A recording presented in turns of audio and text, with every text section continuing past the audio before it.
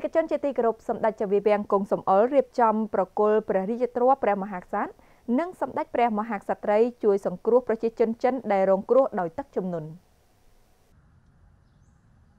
យោងតាមព្រះរាជតម្រិះដ៏ខ្ពង់ខ្ពស់របស់ព្រះករណាជាអម្ចាស់ជីវិតលើត្បូងព្រះមហាក្សត្រនៃព្រះរាជាណាចក្រកម្ពុជា និងសម្ដេចព្រះមហាក្សត្រីព្រះវររាជមេដាជាតិខ្មែរជាទីសក្ការៈដ៏ខ្ពង់ខ្ពស់បំផុតសម្ដេចជាវាំងគង់សំអល់អបនាយករដ្ឋមន្ត្រីរដ្ឋមន្ត្រីក្រសួងព្រះបរមរាជវាំង ជាព្រះរាជតំណាងដ៏ខ្ពង់ខ្ពស់របស់ព្រះអង្គទាំងទ្វេបានរៀបចំពិធីប្រគល់ព្រះរាជទ្រព្យដែលជាព្រះរាជទានដ៏ថ្លៃថ្លាអំពីព្រះករណាជាអង្គម្ចាស់ជីវិតលើត្បូងព្រះមហាក្សត្រនៃព្រះរាជាណាចក្រកម្ពុជា និងសម្ដេចព្រះមហាក្សត្រីព្រះវររាជមេដាជាតិខ្មែរជាទីសក្ការៈដ៏ខ្ពង់ខ្ពស់បំផុត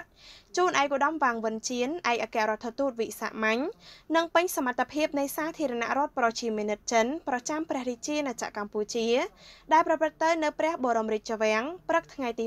24ខែមិថុនាឆ្នាំ2022 ព្រះរាជទ្រព្យព្រះករណាជាអម្ចាស់ជីវិតលើត្បូងនិងសម្ដេចព្រះមហាក្សត្រីព្រះវររាជមេដាជាតិខ្មែរព្រះអង្គសពព្រះរាជហឫទ័យប្រោសព្រះរាជទានតាមរយៈសម្ដេចជវាវាំងព្រះរាជតំណាង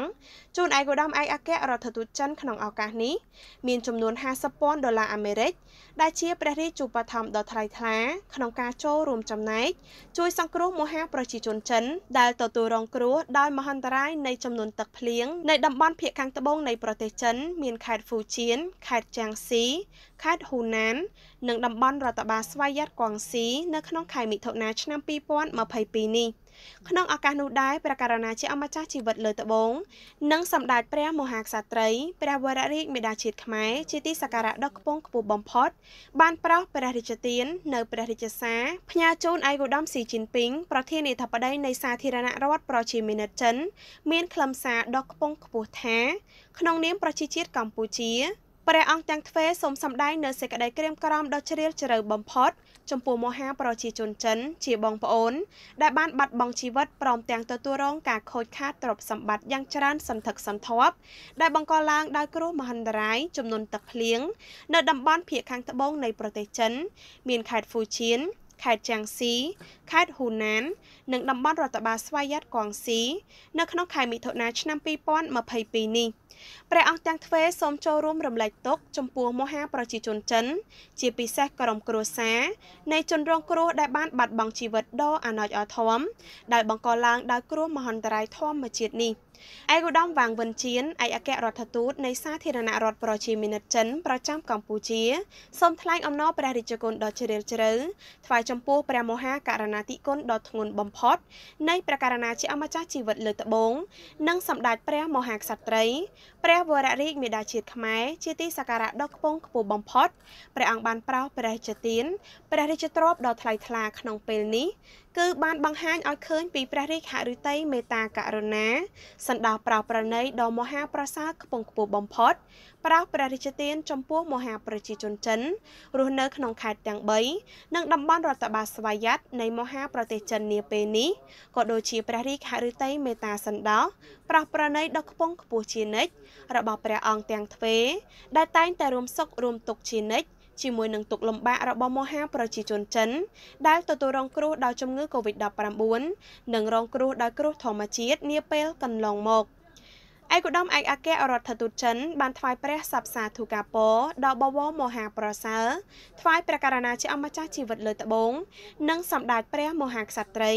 ព្រះវររាជមេដាជាតិខ្មែរជាទីសក្ការៈដ៏ខ្ពង់ខ្ពស់បំផុតសូមព្រះអង្គបានប្រកបតែនឹងព្រះបរមសុខគ្រប់ប្រការ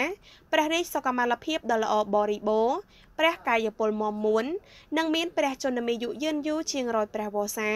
ដើម្បីគង់ប្រថាប់នៅជាម្លប់ដ៏ត្រជាក់សុខសាន្តសប្បូរសប្បាយដល់ព្រះរាជាណាចក្រកម្ពុជា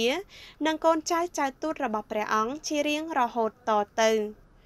ក្នុងឱកាសដ៏ប្រសើរនោះដែរសម្ដេចជាវាំងឧបនាយករដ្ឋមន្ត្រីនិងជារដ្ឋមន្ត្រីក្រសួងព្រះបរមរាជវាំងបានជូនឯកឧត្តមឯកអគ្គរដ្ឋទូតចិននៅវត្ថុអនុស្សាវរីយ៍ជាប្រអប់ធ្វើអំពីប្រាក់សុទ្ធដោយលម្អនៅក្បូរក្បាច់រចនាបថតាមចម្លាក់ប្រពៃណីបុរាណខ្មែរយ៉ាងល្អវិចិត្រជានិមិត្តរូបនៃមិត្តភាព សាមគ្គីភាពដ៏ជិតស្និទ្ធរវាងប្រជាជននៃប្រទេសយើងទាំងពីរ។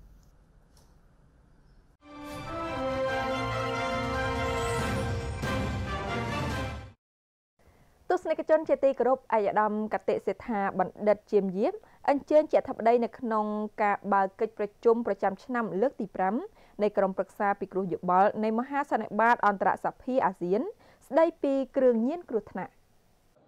អាយដាមកតេសេដ្ឋាបណ្ឌិតជាមយាបអនុប្រធានទី1នៃរដ្ឋសភា និងជាប្រធានក្រុមរដ្ឋសភាជាតិអាយប៉ាកម្ពុជា តំណាងដល់ខ្ពង់ខ្ពស់សម្ដេចអគ្គមហាបញ្ញចក្រីហេងសំរិនប្រធានរដ្ឋសភានៃព្រះរាជាណាចក្រកម្ពុជានិងជាប្រធានមហាសន្និបាតអន្តរសភាអាស៊ាន លើកទី43នៅព្រឹកថ្ងៃទី24ខែមិថុនាឆ្នាំ2022បានអញ្ជើញជាអធិបតីដល់ខ្ពង់ខ្ពស់ក្នុងពិធីបើកកិច្ចប្រជុំប្រចាំឆ្នាំលើកទី5នៃក្រុមប្រឹក្សាពិគ្រោះយោបល់នៃមហាសន្និបាតអន្តរសភាអៃប៉ាស្ដីពី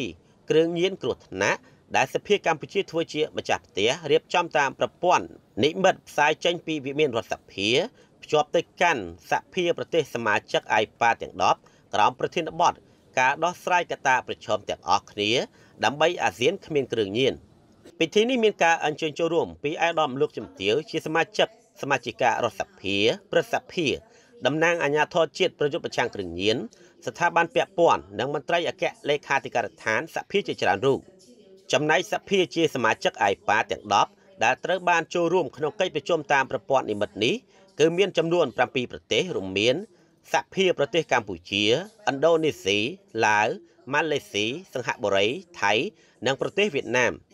ចំណែកប្រទេស3ផ្សេងទៀតគឺប្រុយណេដារ៉ូស្លឹមមីយ៉ាន់ម៉ានិងហ្វីលីពីនបានឲ្យមន្ត្រីនៃអគ្គលេខាធិការដ្ឋានសភាចូលរួមជាអ្នកសង្កេតការណ៍ ថ្លែងបើកកិច្ចប្រជុំអាយដាមកតេសេដ្ឋាបណ្ឌិតជាមយាបបានមានប្រសាសន៍លើកឡើងពីបញ្ហាប្រឈមជាច្រើនដែលបានជះឥទ្ធិពលជាខ្លាំងលើការការពារនិងត្រួតពិនិត្យទៅលើគ្រឿងញៀននៅក្នុងបណ្ដាប្រទេសអាស៊ានដូច្នេះនេះជាពេលវេលាសមស្របសម្រាប់ការឆ្លើយតបរបស់អាស៊ានទៅលើបញ្ហានេះតាមរយៈការធ្វើសកម្មភាពប្រយុទ្ធប្រឆាំងនឹងគ្រឿងញៀននៅក្នុងតំបន់ ក្នុងន័យនេះអាស៊ានបានអនុម័តវិធីសាស្ត្រអនុគ្រោះសូន្យចំពោះគ្រឿងញៀន Zero Tolerance Approach ជាមធ្យោបាយមួយដែលសកម្មភាពគ្រឿងញៀនខុសច្បាប់ទាំងអស់ត្រូវតែប្រយុទ្ធប្រឆាំងនឹងបុគ្គលព្រមទាំងអង្គការចាត់តាំងដែលពាក់ព័ន្ធនឹងការចរាចរណ៍គ្រឿងញៀនទាំងអស់ត្រូវតែដាក់ទោសទៅតាមច្បាប់នៃបណ្ដាប្រទេសជាសមាជិកអាស៊ាននីមួយៗឯកឧត្តមកតេសេដ្ឋាបណ្ឌិតបានមានប្រសាសន៍បន្តថា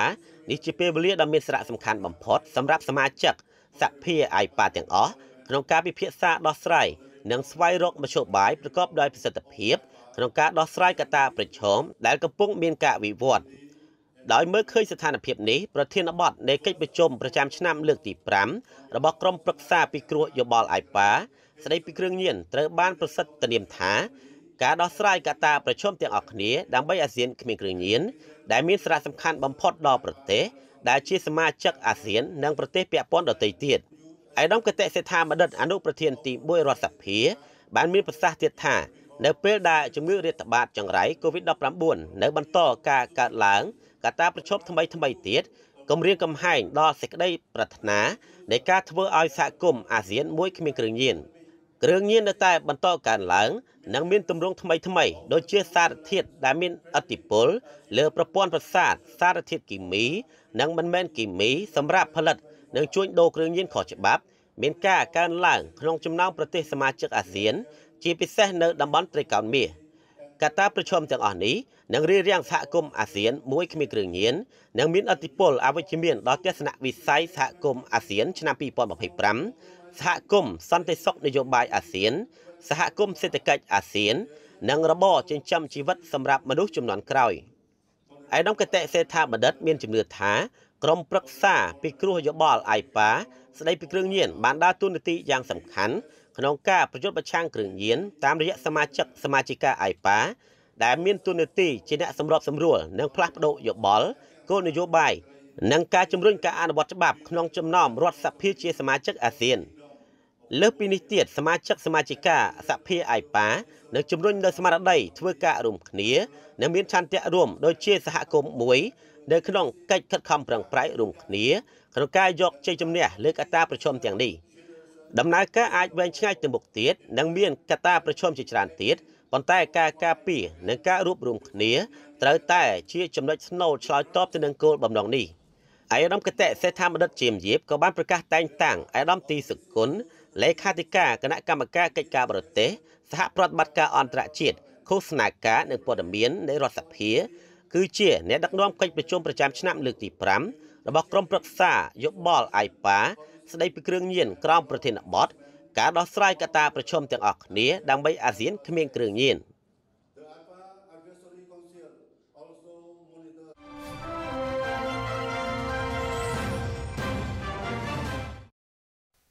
លោកអ្នកនាងជាទីមេត្រីសម្រាប់ព័ត៌មានជាបន្តទៅទៀតនេះលោកជំទាវកតិសង្ឃបណ្ឌិតម៉ែនសំអន អញ្ជើញទៅចូលរួមខួបអនុស្សាវរីយ៍លើកទី55ឆ្នាំនៃថ្ងៃបង្កើតទំនាក់ទំនងការទូតកម្ពុជាវៀតណាមនៅទីក្រុងហាណូយប្រតិភូជាន់ខ្ពស់រាជរដ្ឋាភិបាលកម្ពុជាដឹកនាំដោយលោកជំទាវគតិសង្ឃបណ្ឌិតម៉ែនសំអនឧបនាយករដ្ឋមន្ត្រីនិងជារដ្ឋមន្ត្រីក្រសួងទំនាក់ទំនងជាមួយរដ្ឋសភាព្រឹទ្ធសភានិងអធិការកិច្ចបានចាក់ចែងពីប្រទេសកម្ពុជាដើម្បីអញ្ជើញចូលរួមពិធីមីតិញអបអរសាទរ ខួបអនុស្សាវរីយ៍លើកទី55នៃថ្ងៃបង្កើតទំនាក់ទំនងការទូតកម្ពុជាវៀតណាមដែលនឹងប្រព្រឹត្តទៅនៅទីក្រុងហាណូយនៃសាធារណរដ្ឋសង្គមនិយមវៀតណាមអាយដាមនប់ច័ន្ទរិទ្ធអ្នកនាំពាក្យនឹងជារដ្ឋលេខាធិការក្រសួងទំនាក់ទំនងជាមួយរដ្ឋសភាព្រឹទ្ធសភានិងអធិការកិច្ចបានឲ្យដឹងថាដំណើរទស្សនកិច្ចរបស់លោកជំទាវគតិសង្ឃហបណ្ឌិតម៉ែនសំអននិងប្រតិភូទៅកាន់ប្រទេសវៀតណាមនាពេលនេះបានធ្វើឡើងឆ្លើយតបតាមការអញ្ជើញ របស់ថ្នាក់ដឹកនាំរដ្ឋាភិបាលវៀតណាមតាមរយៈក្រសួងការបរទេសកម្ពុជា ពិសេសតាមចំណាក់ដ៏ខ្ពង់ខ្ពស់របស់សម្ដេចអគ្គមហាសេនាបតីតេជោហ៊ុនសែននាយករដ្ឋមន្ត្រីនៃព្រះរាជាណាចក្រកម្ពុជាឯកឧត្តមនប់ច័ន្ទរិទ្ធបានឲ្យដឹងទៀតថាបើតាមកម្មវិធីនៃដំណើរទស្សនកិច្ចនេះមានរយៈពេល3ថ្ងៃគឺចាប់ពីថ្ងៃទី23ដល់ថ្ងៃទី25ខែមិថុនាឆ្នាំ2022ប៉ុន្តែសម្រាប់ថ្ងៃទី24ខែមិថុនា គឺចំថ្ងៃមីតិញអបអសាទរខួបអនុស្សាវរីយ៍លើកទី55ថ្ងៃបង្កើតទំនាក់ទំនងការទូតរវាងកម្ពុជាវៀតណាម22មិថុនាឆ្នាំ1967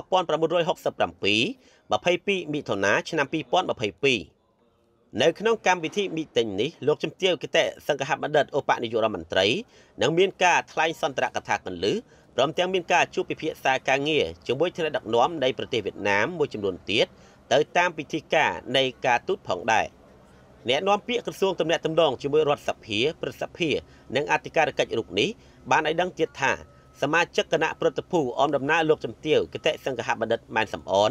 ទៅកាន់ប្រទេសវៀតណាមនៅពេលនេះរួមមាន លោកជំទាវឌួងវណ្ណាសមាជិកសភាមណ្ឌលស្វាយរៀងអាយដាមបណ្ឌិតចាបសុថារិទ្ធរដ្ឋលេខាធិការក្រសួងទំនាក់ទំនងជាមួយរដ្ឋសភាព្រឹទ្ធសភានិងអធិការកិច្ច និងលោកជំទាវខុនមុំនាយករងខុទ្ទកាល័យ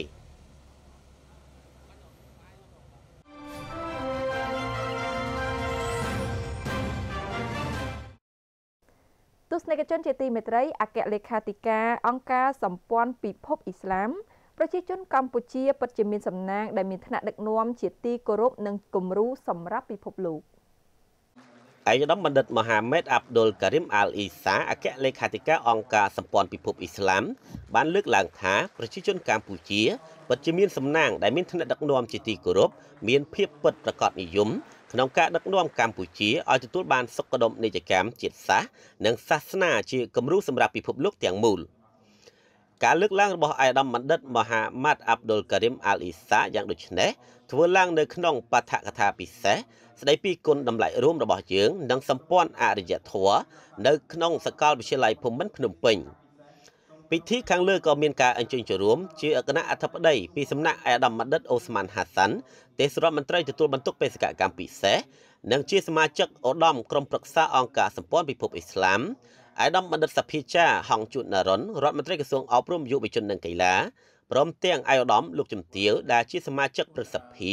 សមាជិករដ្ឋសភាឋានៈដឹកនាំជួររដ្ឋាភិបាលសកលវិទ្យាធិការសាស្ត្រាចារ្យនិងសិស្សនិស្សិតជាង500នាក់អាយដាមបណ្ឌិតមហាម៉េតអាប់ឌុលការីមអាលអ៊ីសាបានបន្តលើកឡើងថាកម្ពុជាជាប្រទេសដែលប្រកាន់លើការអនុវត្តជាងទ្រឹស្ដី ក្នុងការដឹកនាំប្រទេសឲ្យទទួលបានសុខដុមនីយកម្មនិងគ្មានការប្រកាន់ជាតិសាសន៍និងសាសនាឯកឧត្តមបណ្ឌិតបានសម្ដែងនៅសេចក្តីរីករាយយ៉ាងខ្លាំងដែលបានមកបំពេញទស្សនកិច្ចនៅកម្ពុជាដែលជាប្រទេសមួយស្ថិតក្នុងបេះដូងរបស់លោកលោកបានលើកឡើងទៀតថាកម្ពុជាជាប្រទេសមួយពុំមានការរើសអើងខាងសាសនា ជាប្រទេសមានសន្តិសហវិជ្ជមានជាតិសាសន៍និងសាសនាដែលជាតម្លៃពិតរបស់កម្ពុជាគួរជាទីគោរពនិងជាគំរូសម្រាប់ពិភពលោក ក្នុងរយៈពេលជាង7ថ្ងៃនៃដំណើរទស្សនកិច្ចនេះឯកឧត្តមអគ្គលេខាធិការអង្គការបានចូលក្រាបថ្វាយបង្គំគាល់ព្រះករុណាព្រះបាទសម្ដេចព្រះបរមនាថនរោត្តមសីហមុនីព្រះមហាក្សត្រនៃព្រះរាជាណាចក្រកម្ពុជា បានចូលជួបសម្ដែងការគូសំនិងពិភាក្សាការងារជាមួយសម្ដេចវិបុលសេនាបតីសៃឈុំប្រធានប្រសិទ្ធិសម្ដេចអគ្គមហាពញាចក្រីហេងសំរិនប្រធានរដ្ឋសភាសម្ដេចអគ្គមហាសេនាបតីតេជោហ៊ុនសែននាយករដ្ឋមន្ត្រី សម្ដេចក្រឡាហោមសខេងឧបនាយករដ្ឋមន្ត្រីរដ្ឋមន្ត្រីក្រសួងមហាផ្ទៃសម្ដេចពិជ័យសេនាធិបាញ់ឧបនាយករដ្ឋមន្ត្រីរដ្ឋមន្ត្រីក្រសួងការពិជាតិឯកឧត្តមបណ្ឌិតអូស្មានហាសាន់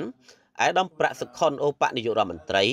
រដ្ឋមន្ត្រីក្រសួងការបរទេសនិងសហប្រតិបត្តិការអន្តរជាតិជាមួយគ្នានោះឯកឧត្តមអគ្គលេខាធិការបានចូលជួបសម្ដែងការគួសមចំពោះសម្ដេចអគ្គមហាសង្ឃរាជជាធិបតីកតេឧទេសបណ្ឌិតទេពវង្ស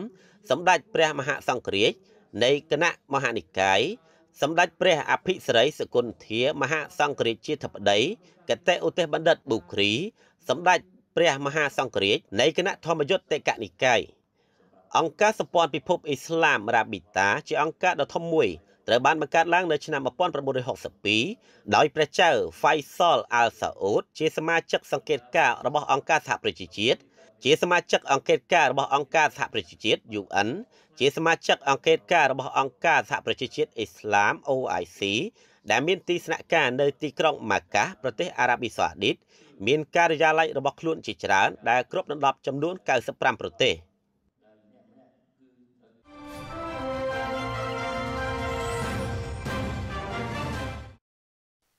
ទស្សនិកជនជាទីគោរពឯកឧត្តមវេងសខុនបានទទួលជួបបណ្ឌិតចៅចិនឆាង Chairman President និង CEO ក្រុមហ៊ុន Orange Chem Co Ltd នៅទីស្តីការក្រសួងកសិកម្មរុក្ខាប្រមាញ់និងនេសាទឯកឧត្តមរដ្ឋមន្ត្រីវេងសខុនបានទទួលជួបបណ្ឌិតជែជីងឆាង Chairman President and CEO ក្រុមហ៊ុន Orient Chem Co Ltd និងសហការីដើម្បីសម្ដែងការគួសមនិងពិភាក្សាការងារ ជាបឋមលោកឆាង បានជម្រាបជូនឯកឧត្តមរដ្ឋមន្ត្រីជ្រាបថាកម្មវត្ថុនៃជំនួបនាពេលនេះគឺក្រុមហ៊ុនមានបំណងចង់បង្កើតកិច្ចសហប្រតិបត្តិការជាមួយក្រសួងកសិកម្មរុក្ខាប្រមាញ់និងនេសាទលើការម្ដងម្ដាតាក់ទងជំនាញផលិតកម្មសត្វនិងសុខភាពសត្វដល់និស្សិតសាកលវិទ្យាល័យនៅវិទ្យាស្ថានកសិកម្មនិងអ្នកពាក់ព័ន្ធនិងចិញ្ចឹមសត្វនិងផលិតកម្មសត្វផងដែរ លោកបន្តថានៅកូរ៉េមានសាកលវិទ្យាល័យផ្សព្វផ្សាយកសិកម្មដ៏ល្បីមានតួនាទីជួយបណ្ដុះបណ្ដាលនិងផ្សព្វផ្សាយបច្ចេកទេសដើម្បីបំពេញបន្ថែមជំនាញបច្ចេកទេសថ្មីៗតាក់ទងវិស័យផលិតកម្មសត្វនិងសុខភាពសត្វជូនដល់អ្នកចិញ្ចឹមសត្វនិងមន្ត្រីជំនាញ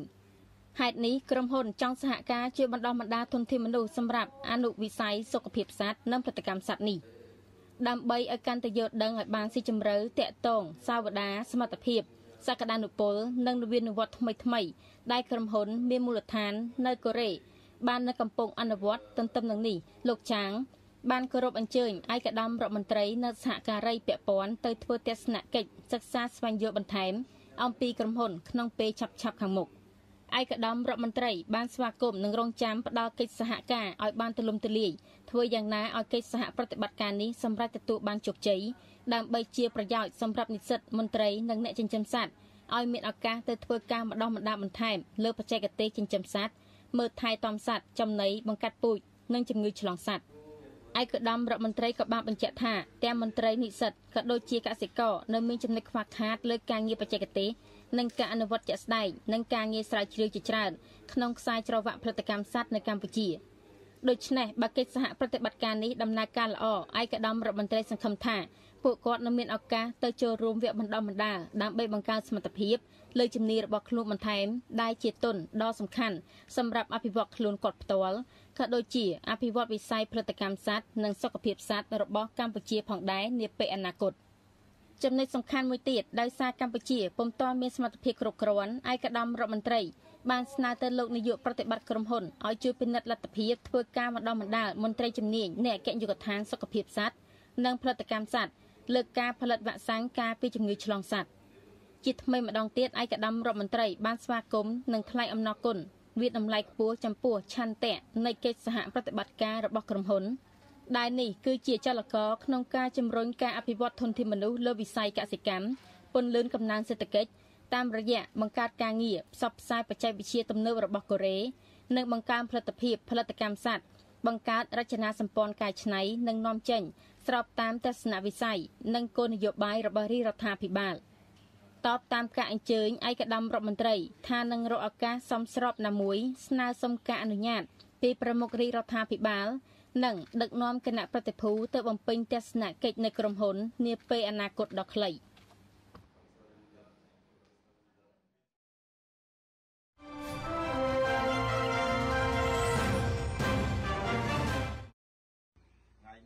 ឯកឧត្តមសេងទៀងជំនួយការផ្ទាល់សម្ដេចអគ្គមហាសេនាបតីតេជោហ៊ុនសែននាយករដ្ឋមន្ត្រីនៃព្រះរាជាណាចក្រកម្ពុជានិងលោកជំទាវ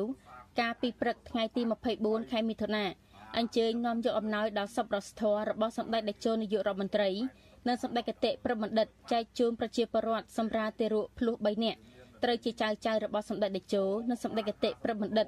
ដល់ដៃគ្រួសារកូនភ្លោះ3ដែលមានលំនៅឋានរស់នៅភូមិកូនភ្នំ សង្កាត់អូតារ៉ៅខេត្តបៃលិន អំណោយដល់សពរសធរទាំងនោះរួមមានថវិកា5លានរៀលអង្ករ50គីឡូក្រាម ទឹកដោះគោ2កេសធំ ស្ករស5គីឡូក្រាម សារ៉ុង2និងក្រមា2ទារកភ្លោះទាំង3នាក់នេះប្រសូតនៅថ្ងៃទី9ខែមិថុនាឆ្នាំ2022នៅមន្ទីរពេទ្យគុណធបុផាខេត្តសៀមរាបជាកូនលើកដំបូងរបស់ឪពុកឈ្មោះឃ្លោករិនអាយុ23ឆ្នាំម្ដាយឈ្មោះសេងតែនអាយុ23ឆ្នាំ អ្នកទាំងពីរមានមុខរបរជាកសិករ ឯកឧត្តមសេងទៀងមានប្រសាសន៍ពំនាំនៅការផ្ដាំផ្ញើសាកសួរសុខទុក្ខដោយក្តីនឹករលឹកយ៉ាងជ្រាលជ្រៅបំផុតពីសម្ដេចតេជោនិងសម្ដេចកតិព្រមបណ្ឌិតដែលជានិច្ចការសម្ដេចទាំងទ្វេតែងតែផ្ញើនៅការនឹករលឹកចំពោះប្រជាពលរដ្ឋនៅគ្រប់ទីកន្លែងទាំងអស់ក្នុងប្រទេសកម្ពុជាឯកឧត្តមជំនួយការផ្ទាល់មានប្រសាសន៍ឲ្យដឹងដែរថាចាប់តាំងពីឆ្នាំ1999រហូតមកដល់បច្ចុប្បន្ននេះពល គឺរយៈពេលជា23ឆ្នាំកន្លងមកនេះមានគ្រួសារប្រសូតទារកភ្លោះ3នាក់ឬ4នាក់ចំនួន387គ្រួសាររួចហើយបានទទួលអំណោយឧបត្ថម្ភដល់សពរសធរពីសម្ដេចតេជោនិងសម្ដេចកតិប្រមណ្ឌិតក្នុងការជួយទំនុកបំរុងដល់ការលំបាកខ្វះខាតក្នុងជីវភាពរស់នៅប្រចាំថ្ងៃពិសេសការចិញ្ចឹមបីបាច់ទារកភ្លោះ3នាក់ត្រូវជាចៅចៅរបស់សម្ដេចទាំងទ្វេនៅពេលឆ្លងទន្លេរួច។ ឯកឧត្តមបន្តថាជំនួយឧបត្ថម្ភទាំងអស់នេះមិនមែនជាអំណោយរបស់រាជរដ្ឋាភិបាលអំណោយរបស់កាកបាទក្រហមកម្ពុជាឬអំណោយរបស់គណៈបកដែលបំរើឲ្យសកម្មភាពនយោបាយនោះទេផ្ទុយទៅវិញអំណោយទាំងអស់នេះគឺជាអំណោយទានកើតចេញពីទឹកចិត្តជ្រះថ្លាប្រកបដោយការគិតគូរខ្ពស់របស់សម្ដេចតេជោនិងសម្ដេចកតិប្របណ្ឌិតដែលបានឆ្វេងយល់ពីការលំបាកពិតប្រាកដចំពោះប្រជាពលរដ្ឋដែលមាន ប្រសូតិរោគភ្លោះ3ឬ4នាក់ ឯកឧត្តមជំនួយការផ្ទាល់បានធ្វើការក្រាយរំលឹកដល់ប្រជាពលរដ្ឋទាំងអស់ចូលរួមថែរក្សាអនាម័យរស់នៅស្អាតលាងដៃជាមួយសាប៊ូអាល់កុលឬទឹកជែលាងដៃដើម្បីការឆ្លងរីករាលដាលនៃជំងឺ Covid-19 ដល់កាយសាហាវដែលបាននឹងកំពុងរីករាលដាលនៅជុំវិញពិភពលោកដោយមានក្តីអាណិតស្រឡាញ់ឯកឧត្តមសេងទានិងលោកជំទាវបានឧបត្ថម្ភថវិកាផ្ទាល់ខ្លួនរបស់ឯកឧត្តមនិងលោកជំទាវចំនួន40ម៉ឺនរៀលជូនដល់គ្រួសារទើបប្រសូតបានកូនលើកដំបូង មានលំនៅឋានចិត្តគ្រួសារកូនភ្លោះ3ផងដែរ។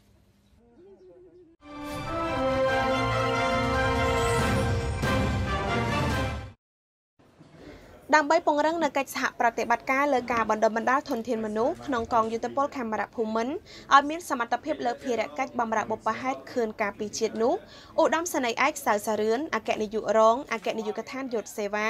ទទួលបន្ទុកការងារនាយកដ្ឋានកិច្ចការយោធាស៊ីវិលក្រសួងការពីជាតិបានទទួលជួបសំណេះសំណាលនិងពិភាក្សាការងារជាមួយលោកវរៈសេនីយ៍តូ Jonathan Powell ប្រធានគណៈប្រតិភូមជ្ឈមណ្ឌលបណ្ដុះបណ្ដាលយោធាអន្តរជាតិអូស្ត្រាលី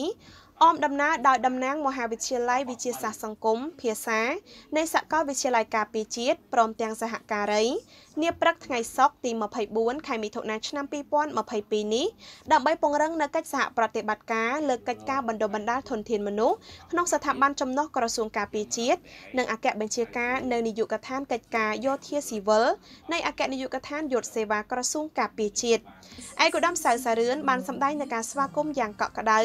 និងមោទនភាពបំផុតចំពោះដំណើរទស្សនកិច្ចរបស់ប្រតិភូរបស់មជ្ឈមណ្ឌលបណ្ដុះបណ្ដាលយោធាអន្តរជាតិអូស្ត្រាលីដែលដឹកនាំដោយលោកវរៈសេនីយ៍តូ Jonathan Powell ដើម្បីអញ្ជើញមកសិក្សាស្វែងយល់ពីការវិវត្តរីកចម្រើនរបស់សាលាក្រោមជំនួយឧបត្ថម្ភទាំងស្មារតីសម្ភារៈនិងថវិកាពីភាគីកងទ័ពអូស្ត្រាលីនារយៈពេលកន្លងមកឯកឧត្តមបានបញ្ជាក់ផងដែរថាសាលាមានភារកិច្ចរៀបចំផែនការសម្រាប់បណ្ដុះបណ្ដាលជំនាញកុំព្យូទ័រនិងភាសាបរទេសឲ្យដល់មន្ត្រីយោធាដែលកំពុងបំពេញភារកិច្ចក្នុងស្ថាប័នអង្គភាពចំណុះក្រសួងការពារជាតិអគ្គមេបញ្ជាការរបស់កងយុទ្ធពលខេមរៈភូមិន្ទដើម្បីលើកកម្ពស់សមត្ថភាពធនធានមនុស្សលើផ្នែកភាសាបរទេសស្របទៅតាមផែនការកំណែតម្រង់របស់កងយុទ្ធពលខេមរៈភូមិន្ទឯកឧត្តមសៅសារឿនបានជម្រាបជូនប្រតិភូផងដែរថាស្ថិតក្នុងស្ថានភាពនៃការឆ្លងរីករាលដាលនៃជំងឺ Covid-19 ចាប់តាំងពីចុងឆ្នាំ2019ដល់ឆ្នាំ2022នេះសាលាត្រូវបានផ្អាកការសិក្សាមួយរយៈហើយនីតិហ៊ានភាគច្រើនត្រូវបានចុះបេសកកម្មជួយប្រជាពលរដ្ឋទប់ស្កាត់ការពារជំងឺ Covid-19 នៅតាមបណ្ដាខេត្តនានាទូទាំងប្រទេស។ដោយមានការអនុញ្ញាតរបស់រាជរដ្ឋាភិបាលបើកទូលាយក្នុងការសិក្សានៅទូទាំងប្រទេសនោះសាលានឹងបើកថ្នាក់សិក្សាថ្មីឡើងវិញនៅខែសីហាឆ្នាំ2022ខាងមុខនេះលោកវរៈសេនីតូ Jonathan Powell បានបញ្ជាក់ថាគោលដៅដែលរូបលោក Jonathan Powell ដឹកនាំប្រតិភូមកថ្ងៃនេះ គឺដើម្បីពិនិត្យលើកម្មវិធីសិក្សា ដែលជាជំនួយរបស់កងទ័ពអូស្ត្រាលីក្នុងរយៈពេលកន្លងមក ថាតើការសិក្សាស្របទៅតាមគរុកោសលនិងបច្ចេកទេសនៃការសិក្សាកម្មវិធីសិក្សាដែរឬទេពិសេសលោក Jonathan Powell បានលើកយកគម្រោងកម្មវិធីសិក្សាថ្មីមួយទៀតសម្រាប់បម្រើដល់វិស័យយោធានៅភាសាជំនាញបច្ចេកទេសសម្រាប់ប្រើប្រាស់ក្នុងកងទ័ពផ្ដោតសំខាន់លើការងារបណ្ដុះបណ្ដាលធនធានគរុកោសលផ្ដល់ជាអាហារូបករណ៍ឬសិក្សាតាមរយៈប្រព័ន្ធអនឡាញលោកវរៈសេនីតូ Jonathan Powell ក៏បានបញ្ជាក់ផងដែរថាកម្មវិធីសិក្សានេះកន្លងមកលោកបានដំណើរការវគ្គបណ្ដុះបណ្ដាលនៅប្រទេសថៃដោយស្ថានភាព COVID-19 នៅតែបន្តលោកក៏បានបន្តធ្វើការសិក្សាទៅតាមប្រព័ន្ធអនឡាញ យោងតាមការឯកភាពគ្នាលោកវរៈសេនីតូ Jonathan Powell បានជំរុញឲ្យថ្នាក់ដឹកនាំសាលាធ្វើការទំនាក់ទំនងជាមួយមហាវិទ្យាល័យកិច្ចផែនការកិច្ចសហប្រតិបត្តិការដើម្បីពង្រឹងនិងកែលម្អក្នុងការងារបណ្ដុះបណ្ដាលភាសាអង់គ្លេសឲ្យមានគុណភាព សមត្ថភាពក្នុងកងយុទ្ធពលខេមរៈភូមិន្ទទៅតាមស្តង់ដារអន្តរជាតិក្នុងឱកាសនោះដែរប្រតិភូរបស់មជ្ឈមណ្ឌលបណ្ដុះបណ្ដាលយោធាអន្តរជាតិអូស្ត្រាលីដឹកនាំដោយលោកវរៈសេនីតូ Jonathan Powell ក៏បានចុះពិនិត្យមើលពីការវិវត្តរីកចម្រើន នៅតាមបន្ទប់សិក្សានីមួយៗនិងបណ្ណាល័យដែលជាជំនួយរបស់ភាគីមិត្តអន្តរជាតិដោយឧត្តមសេនីយ៍តូសៅដារាវុធនាយកនាយកដ្ឋានកិច្ចការយោធាស៊ីវិលក្រសួងការពារជាតិបានបង្ហាញពីសមិទ្ធផលនៃកិច្ចសហប្រតិបត្តិការជាមួយបណ្ដាប្រទេសជាមិត្តអន្តរជាតិលើកម្មវិធីសិក្សាភាសាបរទេស ទន្ទឹមនឹងសម្ភារៈបម្រើឲ្យការសិក្សាមានភាពចាស់មិនបម្រើទាន់តាមបច្ចេកវិទ្យានាដំណាក់កាលបច្ចុប្បន្ននិងកង្វះនៅធនធានគ្រូឯកឧត្តមសៅដារាវុធបានបញ្ជាក់ថាបានសំណូមពរតាមរយៈលោក Jonathan Powell បន្តជាឧបត្ថម្ភបន្ថែមទៀតទាំងស្មារតីនិងសម្ភារៈដែលបម្រើឲ្យការងារបណ្ដុះបណ្ដាលធនធានមនុស្សក្នុងកងយុទ្ធពលខេមរៈភូមិន្ទដើម្បីបន្តជំរុញលើកទឹកចិត្តឲ្យសិក្ខាកាមម្នាក់ៗបានខិតខំសិក្សារៀនសូត្រទៅលើផ្នែកភាសាអង់គ្លេស និងភាសាបរទេសផ្សេងផ្សេងទៀតឲ្យមានសមត្ថភាពខ្ពស់ដើម្បីមានភាពងាយស្រួលក្នុងការទំនាក់ទំនងគ្នាជាលក្ខណៈអន្តរជាតិសូមបញ្ជាក់ថាសាលាត្រូវបានបង្កើតឡើងនាថ្ងៃទី24ខែសីហាឆ្នាំ2004មានបន្ទប់រួមចំនួន8បន្ទប់សិក្សាលើ6មុខវិជ្ជា សិក្សាមុខវិជ្ជាកុំព្យូទ័រនិង5មុខវិជ្ជាភាសាបរទេស។ លទ្ធផលដែលបានបញ្ចប់ការសិក្សាកិច្ចចាប់តាំងពីឆ្នាំ2005ដល់ឆ្នាំ2019សរុបរួមចំនួន1643នាក់